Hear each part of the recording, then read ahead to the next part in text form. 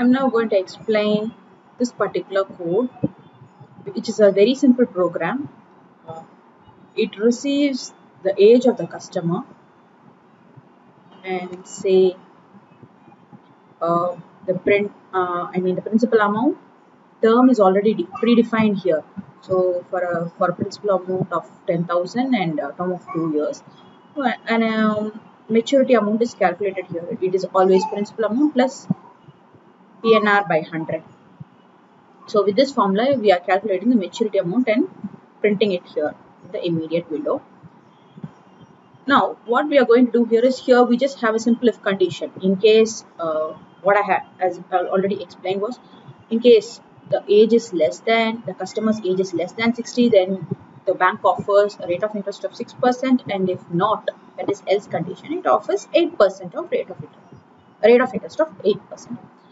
So now I this program will go on smooth.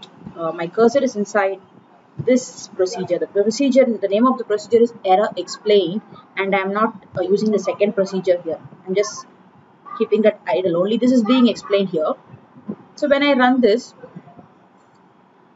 uh, don't worry about the background that has no connection with this program. I'm just marking the age of the customer as 78.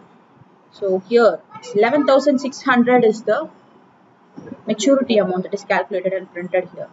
And obviously if I uh, input a number less than if I input a number less than 60 it's going to calculate 6 as the rate of interest and it's going to accept 6 as a rate of interest and publish the maturity amount as 11,200 what if I'm going to use this ROI here and I just have a single condition. Let's say we'll remove this. Just a different scenario. Let's assume this. What will happen to throw an error? So this is the error we are talking about. The video is about this error how to handle this. In general after this then statement there should be nothing here. Only then you can have an if and if. If I uh, have my code here. My, I just have a single line of code which I'm putting here. If I place the code here as if in this line, then this endif is not required. This also can be removed or commented out. Now, now you see that there was no compile time error. So what we understand is endif always needs to have an if condition where there is no statement after then so again I'll put it back here. Now we'll see another scenario wherein uh, we have females. Female senior citizens are more than or equal to 58 years of age and males are 60 years and above. I mean male senior citizens are 60 years and above. So now let's see the gender. Uh, I'll say STRG and I'm going to get the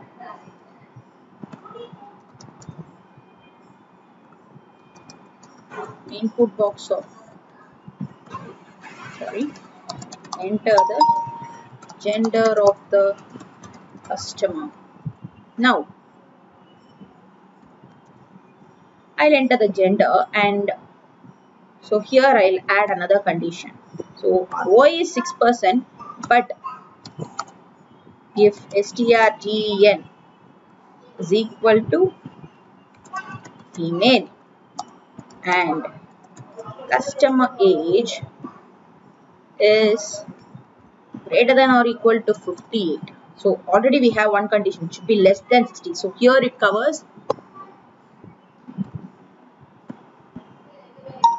greater than 57 so 58 and 59 58 59 and 60 are covered here in this condition. Obviously this if statement is looking for a then statement then ROI should be 8 only. It may be a roundabout way but I'm just going to explain the error here. So for that I'm just creating a scenario then you can understand. This will not cause any error because it has a proper if and end if all the if statements are closed properly here. Now, in case, okay, let me anyway run it and show you. uh, let me say 78 and uh, gender is female so the scenario is anyway covered and it gives me a maturity amount of 11,600 again. ROI has been considered as 8. So this would have come here, it wouldn't have even checked the gender. However, in case I comment out this line or I use my ROI here.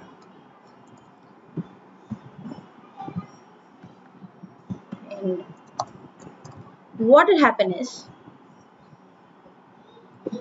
this if statement will be considered as a standalone line. So it started here and it is over here. This end if is not required for this if as I told you earlier. So what will happen is this end if will be uh, considered as a completion of this if statement and this will stand without an if condition. So where is the if statement for this else end if? Now I'll tell you that we'll get the error as else if without an if condition. Else without if. The same way if we don't have these two here in this area then it will be end if without. So from this we can understand clearly that any end if statement needs to have a corresponding if statement without which we will face the error that end if without block if.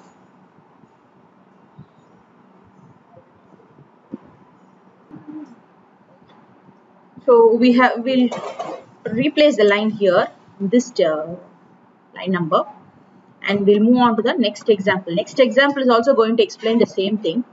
We have nested if statement here. This sub trial is a sub procedure I'm talking about. Here if apple is sweet then again we have if mango is sweet then we are going to print that sweets are I mean fruits are sweet. And now I have given values to both the variables. That is apple variable has a value of sweet mango variable also has a value of sweet. Now the control will come in. It will check if the apple is sweet then it will check if the mango is sweet and then it will print the statement fruits are sweet now what if I place this particular statement here itself? It will give me the error that end if is found without a block if. Which end if it is about this end if and not the earlier one because this end if will be considered as the end of this if block. And this will stand alone without a starting if statement. So the error will be about this particular line and obviously it will be a while time error. So you got it friends. It's about this line. So what is the solution? We either need to remove this end if or we can have this after the then keyword I mean the next line. This can only resolve the error. Basically there shouldn't be an empty end if I mean without an if statement or an else statement there just can't be a blank end if in your program you need to match them with the respective or corresponding if statements. This can help you resolve the error. Thank you